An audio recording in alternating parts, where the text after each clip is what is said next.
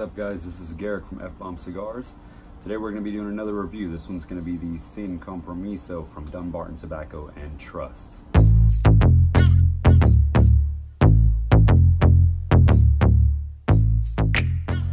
Alright, we're going to go ahead and get this thing cut and lit and start smoking on it and see what the deal is with this one.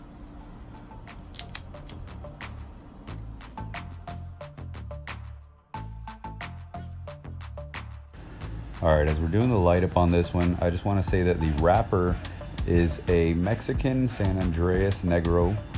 The filler comes from independent plantations in Nicaragua, and the binder is going to be a hybridized Ecuadorian Habano leaf.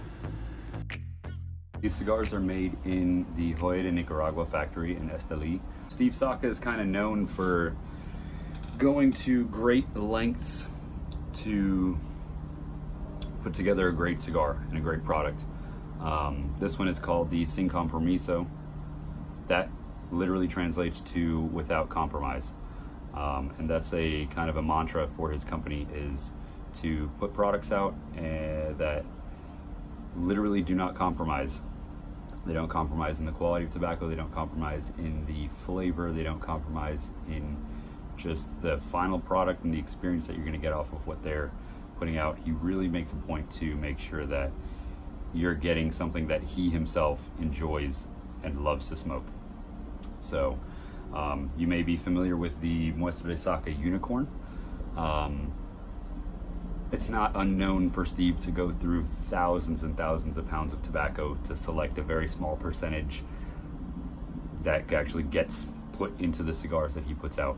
Um, this one right here, the Muestra de Saka Unicorn, is definitely one of those. I'll show it to you right now. We're gonna do a review on this one at some point. I don't exactly know when, um, but this is that one right there. It's the Muestra de Saka Unicorn. Um, nice little Perfecto. I did get to try a little bit of one of these a little while back from a buddy of mine. Um, absolutely phenomenal picked one up. So like I said, we're gonna do a review on one of these, but that's something for another day. So I will put this away very carefully and uh, we'll keep smoking on the Sin Compromiso there. But there's that. So the size that I'm smoking today is the Espada Estoque, or some pronunciation of that. Um, this is a 7 by 44 just the powerhouse of flavor. You really get to showcase the San Andreas wrapper on this thing by having that smaller kind of vitola because the proportions of that tobacco really balance the wrapper to filler and binder ratio, um, which I enjoy.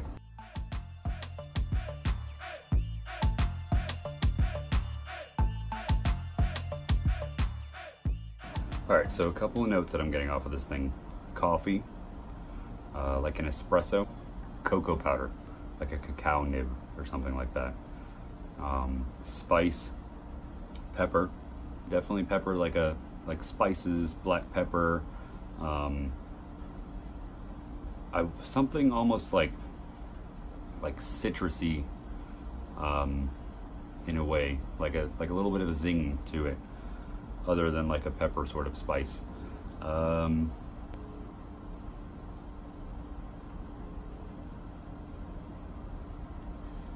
there's a nice meaty sort of tone to it. It tastes like, it honestly, it tastes like a steak.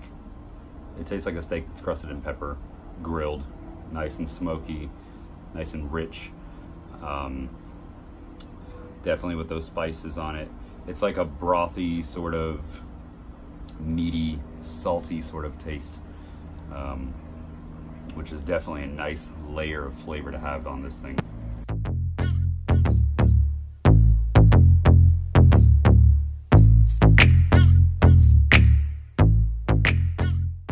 If you're familiar with some culinary terms, you may or may not be, is umami.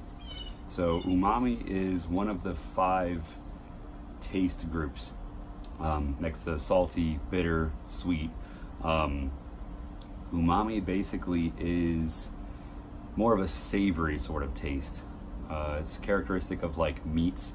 It is triggered by the taste receptors that respond to um, glutamates, which are typically found in you know proteins. That's a note that I'm getting off of this one.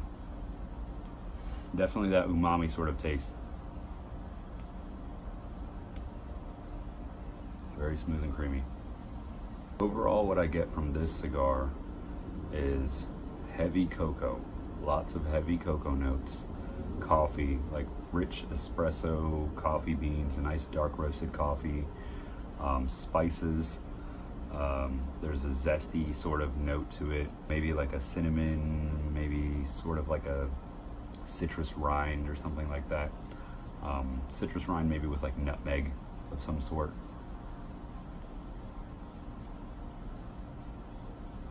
Meaty, nice brothy note to it. That nice umami sort of taste. Smooth and strong at the same time. Sin Compromiso, I'd give this thing five bombs. This thing is definitely a flavor bomb. Um, just an explosion of lots of different layers of flavor. It changes up as you progress through it. Um, like I said, it has that nice peppery sort of tone to it in the beginning. As it builds, you get more those more cocoa, coffee sort of tones. Um, it builds with that nice, rich, meaty, umami, um, savory sort of note. It just keeps that layer of smoothness throughout the whole cigar while keeping those very bold in your face flavors. It's definitely a roller coaster of flavor for sure.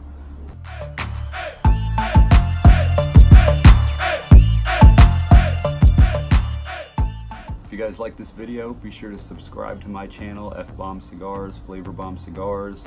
Uh, check me out on Instagram at F-Bomb Cigars for daily content. Post basically what I'm smoking on a daily basis. If you guys have anything that you'd like me to review, hit me up in the comments, like this video, hit that notification button so that way you get notified of any new videos that are going up. As always, thanks for watching. I'll see you guys next time.